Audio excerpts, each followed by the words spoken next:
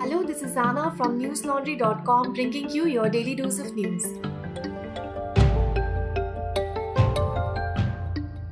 Today is Tuesday, the 13th of July. India today registered 32,906 new coronavirus cases, pushing the infection tally in the country to over 3.09 crore. The death toll climbed by 2,020 in the last 24 hours. The total fatality count now stands at 4,10,784. All these figures, however, are widely believed to be undercounts. Soumya Swaminathan, chief scientist at the World Health Organization, advised against the mix and match method of immunization, calling it a dangerous trend. Mixing and matching COVID 19 vaccines is a method of immunization in which a dose each from two different manufacturers is given. The research so far is limited only to the AstraZeneca and Pfizer vaccines, with results showing short lived side effects rather than immunization against the virus. WHO Chief Tedros Adhanom said that the Delta variant is spreading around the world at a scorching pace, driving a new spike in cases and deaths.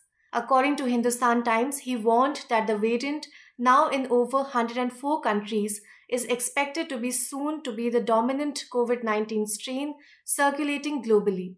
The Indian Medical Association has cautioned central and state governments that the third wave of the coronavirus pandemic is inevitable and imminent. The Doctors Association said that tourist bonanza, pilgrimage travel, religious fervor can wait as the entire population should follow COVID protocols for at least three more months. The statement came as visuals emerged from tourist spots where visitors are seen flouting COVID norms. Union Tourism Minister G. Kishan Reddy has urged citizens to follow COVID 19 protocol while traveling. Meanwhile, India's immunization drive was again disrupted by shortage of vaccine doses in Madhya Pradesh, Odisha, Delhi, and Maharashtra. Vaccination centers are expected to be closed today due to the lack of sufficient doses. The number of doses administered weekly dropped consistently from the last week of June until the previous week. While Jharkhand and Maharashtra complained that they were running vaccination drives for fewer people than they could afford to, Niti Aayog chairperson Arvind Panagariya questioned the reason for shortage being hesitancy or insufficient production. Mumbai's PD Hinduja Hospital and Delhi's BLK Super Speciality Hospital have reported three cases each of avascular necrosis or AVN in post COVID patients. AVN is a degenerative bone condition causing the death of bone tissue due to the lack of blood supply. Doctors say that AVN might be the next worrying trend amongst post COVID patients.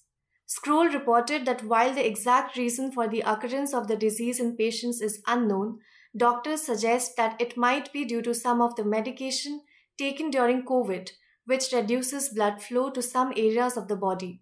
Besides the increasing number of cases of coronavirus, a total of 19 cases of the Zika virus were reported in Kerala. The first case of Zika virus was reported on 8th of July. Zika is a mosquito-borne flavivirus which is transmitted through Aedes mosquitoes that are usually seen early in the morning or late in the evening. According to WHO, it takes 3 to 14 days for an infected person to start showing symptoms. On Friday last week, a state-wise alert was issued in 14 districts following the detection of the Zika case in a 23-year-old pregnant woman. Globally, according to Johns Hopkins University, the coronavirus has infected over 187.2 million people and killed over 4.03 million since the pandemic broke out in December 2019. Three persons are missing after floods caused by heavy rains swept away tourist spots in Himachal Pradesh on Monday.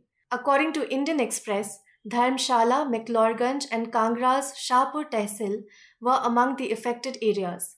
In Shahpur's Boh village, around eight houses, shops, and cowshed were washed away in a landslide following a cloudburst.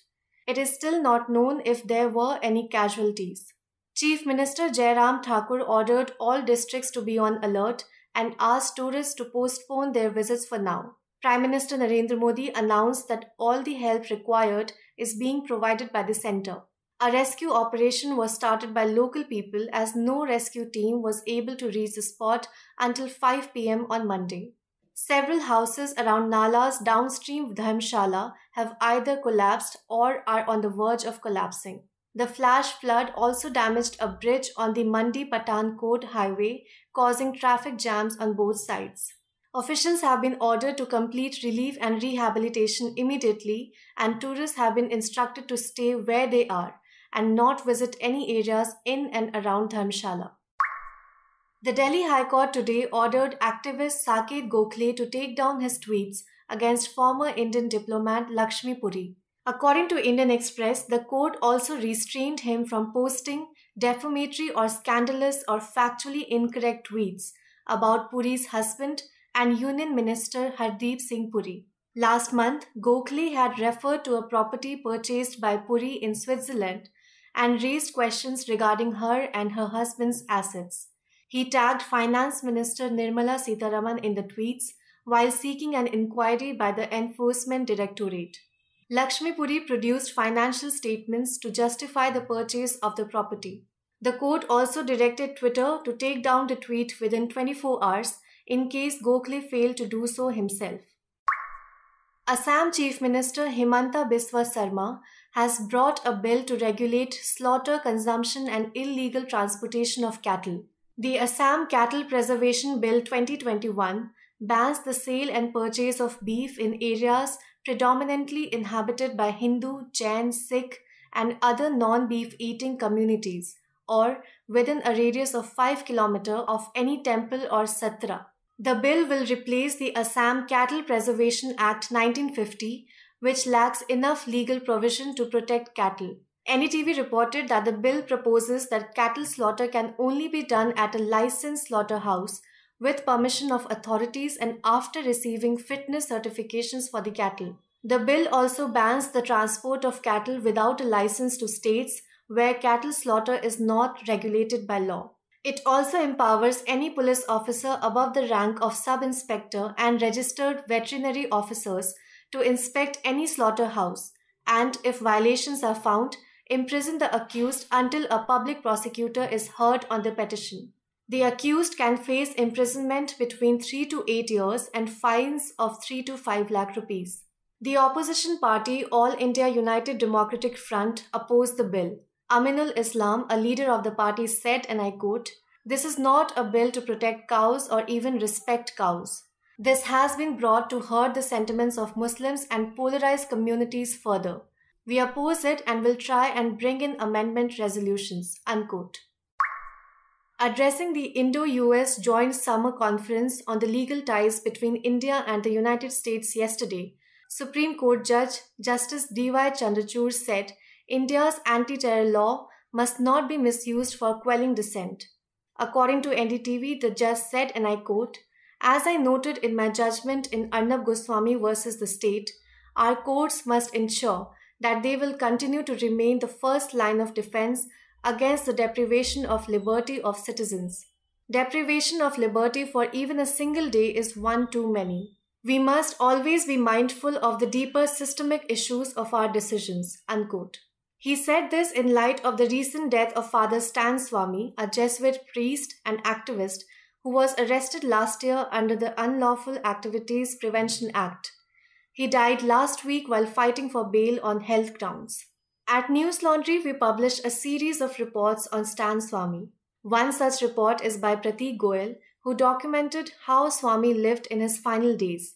Pratik writes that even when he was severely ill, bail was something Swami spoke about often. Jail authorities were reluctant to provide Swami with basic amenities and did not have the medical infrastructure required to treat him. Read his piece on our website. It is titled how Stan Swami spent his last months in jail. Listeners, apart from publishing such reports, opinion pieces, and interviews, we host a number of webinars and discussions on pressing matters. Given the worrying prospect of the third wave of the pandemic in India, we are hosting a webinar on 15th of July at 7 pm, where we will look at misinformation surrounding COVID and the consequences of not collecting proper data on the pandemic with Dr. K. Vish Viswanath, Lee Kum-Kee Professor of Health Communication at the Harvard T.H. Chan School of Public Health. The webinar is titled COVID preparing for third wave. This and similar events are limited to our subscribers, who not only get to participate in the session but ask questions to the guest as well.